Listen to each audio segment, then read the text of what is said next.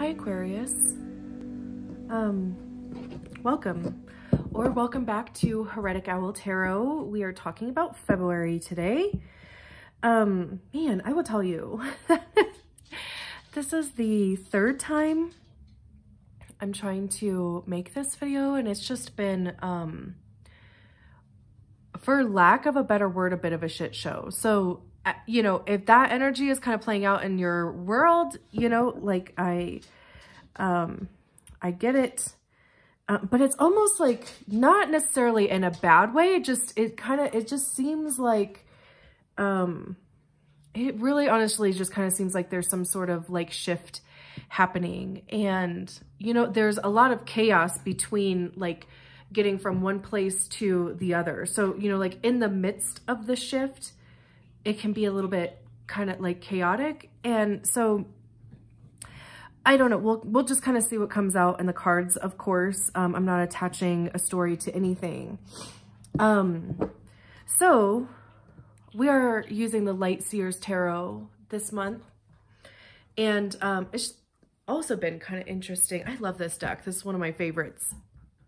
And um, my attention has been drawn to the cards that are on the bottom of the split when I shuffle the cards. So like before I start the videos, I shuffle a bunch of times and, um, you know, kind of connect to the light beings and guides and everybody that I hope to work with for these messages and kind of get calibrated to your energy. And um, usually I don't even like necessarily see the, the splits because I, I kind of shuffle like this way. So I don't ever really see the bottom, but anyway, blah, blah, blah. Um, the cards that were at the bottom of the split for you was the, um, the Hanged Man and the Knight of Wands, which is kind of a, an interesting energy because they're almost at face value, it's almost kind of like totally separate, totally different opposite energies. Like the hanged man talks about kind of willful suspension and the knight of wands is, you know, kind of playful and going for it, right? Like um, throwing caution to the wind type of thing. So, um, you know, I mean, you could have been in the hanged man energy for some time, um, you know, because the, the hanged man also talks about um, seeing things from a different perspective. Um, you know, there's usually a halo around the person's head, so it has to do with enlightenment as well. Um, so, you know, I mean, there definitely could have been a situation that you might have been, or an energy that you might have been hanging out in, um, and that kind of caused you to almost kind of have this shift in focus um, or like this realization of like not taking things too seriously and kind of going with what feels good for you. Um, which I love. I mean, I'm, I'm here for it. So, um, I mean, we'll just kind of, again, we'll see what kind of comes out in the cards. Um, and as a recap, or for those who are new, we do a four card spread. The center card is the current energy. To the left of that is any um, potential blocks. Underneath is advice to clear the block. And the last card is the energy that we're heading into. I don't shuffle reversals into the deck, but, um, you know, if the card falls out and it does a, a flip and lands in the reverse, we'll take it that way. Um, my intention is for one card to come out at a time. If two cards come out together, we'll take them. But any more than that, um, we'll put it back in the deck because we just want the, the story to be clear. The card does have to fall out of the deck. If it flips in the deck, um, we'll just flip it back over um, because again, we want the message to be clear. So, um, I think, is that everything? Um, I know you guys are like an air sign too, and it just, again, you know, like it just, my crown just feels like almost like just open. It just, um, and again, not in a bad way. I'm not saying like I feel, I do want to say that I feel airheady, but not in a bad way. It just kind of, it just feels like, Um, you know, even that you're just maybe just really um, into kind of your own energy, which is awesome, right? Like you should be. So, all right, let's get going. So what is the current energy for Aquarius? Current energy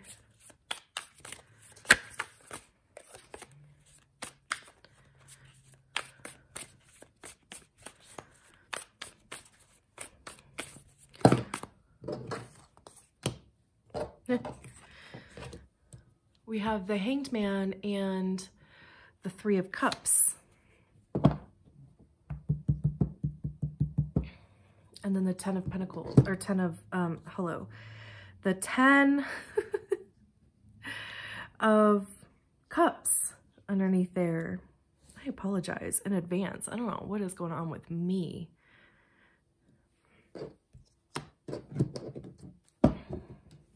So here's that hanged man again. And we have the three of cups, the 10 of cups. I mean, obviously, you know, the, the cups have to do with our emotions. Um, so, you know, I mean, this hanged man, you could be, you could have been, um, really intentionally, you know, just kind of sitting in your emotions about a situation. The three of cups has to do with our network, our support group, our friend group.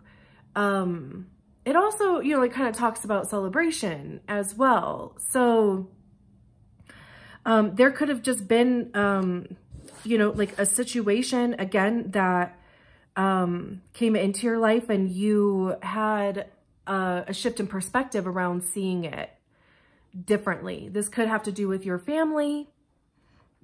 And family can be, of course, biological. It could be, um, you know, the family that you created, you know, like friends. Um, it could be work. And then we have the Wheel of Fortune underneath that. So there's obviously been like a shift in that.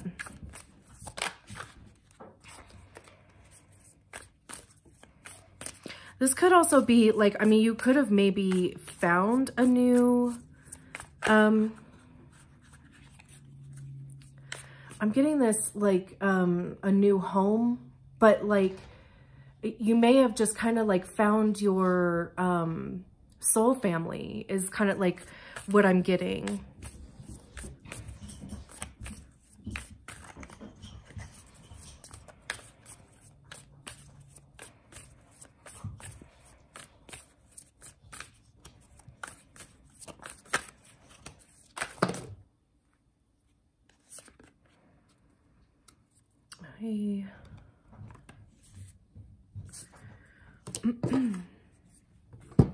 Yeah, just kind of like coming out a period of, um, make sure you can see all these cards in here.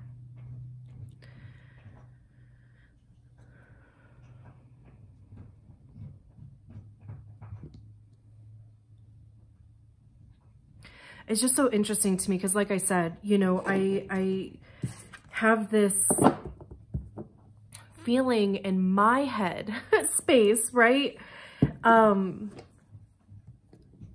and, you know, like I was saying with the hanged man, you know, there's generally a halo. And in this depiction, there's kind of like this starburst um, coming around their head. And for the blocked position, we have the Five of Swords and the Eight of Swords. Heavy mental stuff. like, and of course, you know, the swords are the air cards anyway. So, you know, again, like just, you know, like kind of sitting in your own energy here. Um, but this is very mental, right? Like, I mean, the, the swords are anyway, it has to do with our thoughts and intellect, right? But the five of swords, I mean, you can just kind of see him here, right? Like just the depiction is, um, this this grief or um, headache, right?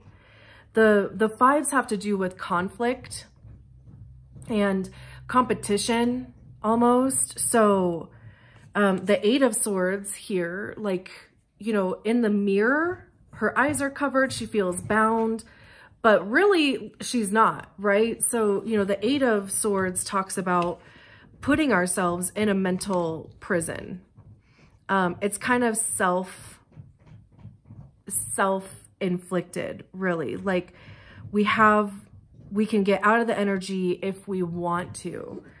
And then we have the Two of Wands and the Two of Pentacles um, on the bottom of the deck. You know, the Two of Wands. So this to me, um, before I, I start kind of talking about over here, this to me, you know, whatever the situation is, right? I mean, this is a general reading. Um, I'm not necessarily focusing on just one specific aspect of life, right? So it could be anything, work, family, you know, love life, whatever. You specifically is generally what my focus is. But um, the block may be that you have been trying to maybe even kind of barrel through things like again, you know, with the five of swords being more of like the competition, you could have been just trying to mentally like outwit people. There could be people in your life who are being manipulative in that sense. Um, this eight of swords, you know, like it could be a situation that you just feel like you cannot get out of. And you've been kind of trying to like open doors or try things and it just has not worked out for you. So it's just kind of keeping you in this, um, this energy of, you know, kind of stagnation.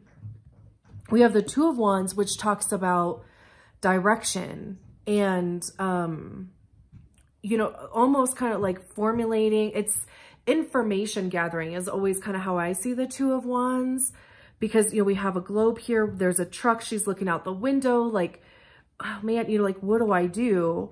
The three of wands is when you actually start going, like you, you've chosen a direction and you're just going to start heading in it. Um, so that again, you know, like the block may be that you just, you cannot see a way out of maybe the situation.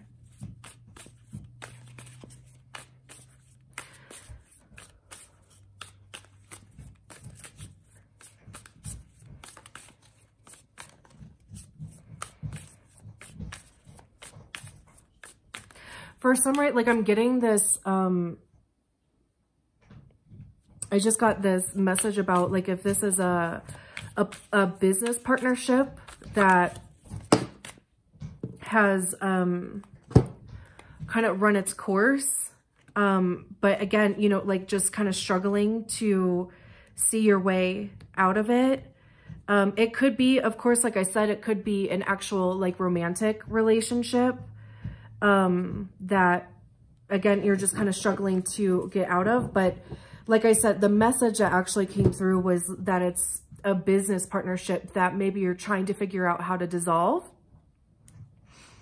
Um, because it just, you know, like you could have outgrown whatever this business is and you could be ready for something else.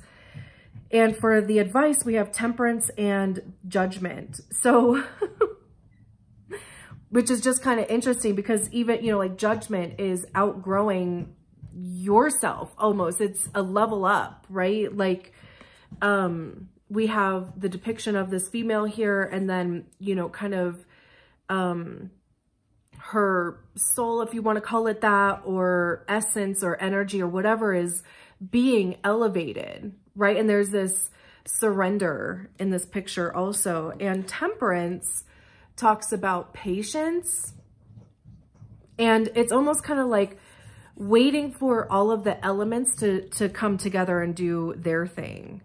So this, again, is a position on clearing the block. And for me, like I, I just get this message of focusing on yourself and focusing on your development and growth.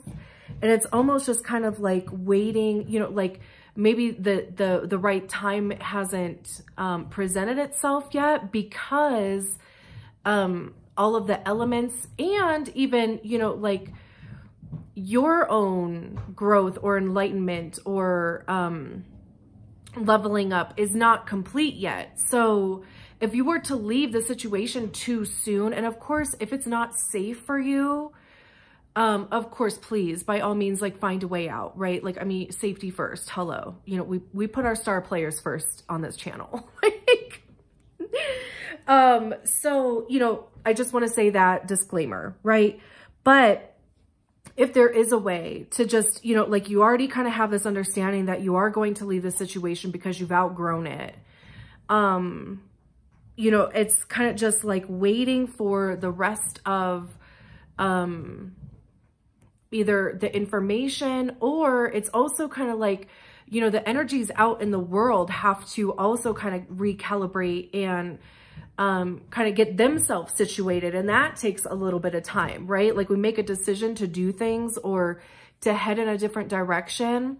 And then the, the energies that are out there have to, you know, like also be like, oh shit, uh, oh, uh, you know, like now this needs to go here and this needs to go here. And you know what I mean? So, um, it's also about kind of giving time to do that, like there has to be some time for, for, like I said, for things to recalibrate and settle. We have the King of Wands here and the King of Wands to me is all about like being in alignment with what we want to do next. Like, you know, it's, he's very creative. He's, you know, like uh, a, an entrepreneur also is very clear on the actions and the communications that he wants to take. So this could be just waiting for, and we have a lion back here that's, you know, represented on the strength card, but he's very much, again, you know, like this information that just kind of needs to either present itself or become available. You know, the wands talk about communication and action. So it's waiting for um, the right action, but it's also being sure that like you are very much in your in alignment with where you want to go. If it's a business, you know, like, you know, that you want to launch, being very clear about that. It's also communicating um, your intentions to the, the right people. Like, um, if there is kind of a more, um, you know, we have the three of wands behind that. So, you know, if there's kind of a tough conversation that even needs to be had, you know, it's um, being very clear in your communication with that, you know, like, um, but with the three of wands being underneath him, it's, to me, again, it just, it feels like a new direction. Like you're, you're very clear on the direction that you want to head in or the action that you want to take towards that. Um, and, uh, able to like clearly communicate that to whoever, you know, I mean, you don't, you're not obligated to tell people shit if you don't want to, but of course, like if this is some sort of partnership, I mean, you know, like there's probably some level of obligation there, but um, let's see what energy is coming up for Aquarius. Oh, mm -mm. that was operator error.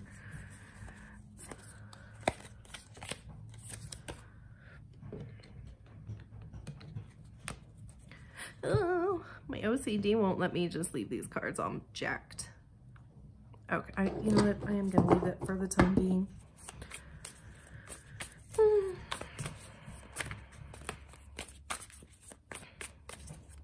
What is next for Aquarius? What's next?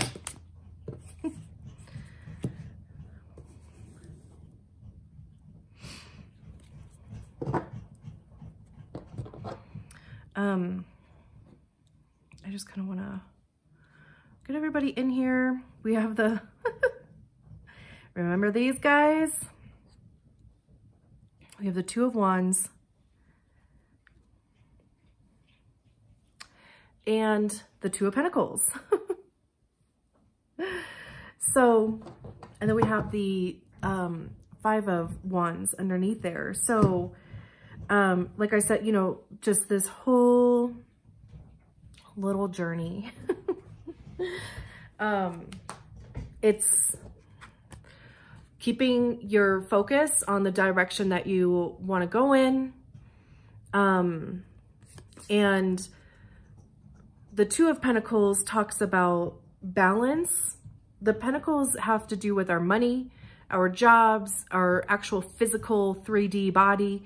It's the things that we can actually touch and um, they are a little slower moving because, you know, it just, it takes time um, in the 3D world for um, for manifestations to, you know, kind of pay off or to kind of show themselves.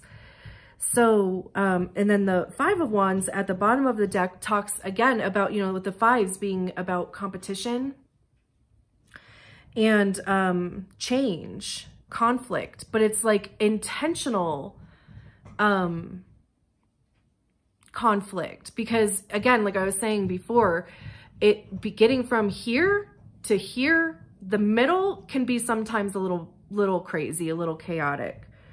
So, um, but like this, this little section, what I'm getting is that it's almost kind of like you fought to get here. Like, you know, this is what you're fighting for, quote unquote, like fighting, right? It's like, um, this whole situation that you're kind of going through is, you know, you're putting all this time and focus into this to be able to have this vision of the direction that you want to go in to bring balance to your life in, in the form of money or a job or your body, right? Like, so it's making the decisions that align with that. And then we have, you know, like just kind of fighting to get there, you know, like again, just really kind of keeping the focus on this flame up here. It just kind of seems like everybody is just kind of trying to get up to this flame, right? And then we have the Knight of Swords, which is very quick moving. You know, he's running towards his motorcycle there, right? So, and then we have kind of like the zeros and ones thing here. So again, this has to do like, for me about like getting the information that you need. That information came in that I was talking about before where you can just take off and, you know, like move quick if you want to. And again, like, you know, swords have are air cards. So it's, moving in your own energy. It's alignment with your own energy. And then we have the sun card underneath that, which is, you know, like joy, happiness, victory, all of the, all of the good feels is wrapped up in the sun card. So, you know, I mean, you might be in a bit of a struggle right now. and, um, that's not always a fun place to be, but you are heading out of it. There is a path out of it and, you know, sometimes it sucks to just kind of sit in it and just wait for the, the things to come to us that like the, again, the information that we need to get out of it, but it's coming, right? So I'm going to leave it there. I also love how much information is even on this table. Like, you are the first um, the first sign to ever get two cards in every position. So there's even a lot of information on this table, right? So, um, again, you know, like there is, there is information coming or has arrived or it's just kind of, you know, but there is, like I said, there's a lot of, a lot of stuff even on this table here. So we'll leave it there. Thank you so much for your time. And of course, subscribe to the channel. I'd really appreciate it. And I'll talk to you soon. Bye.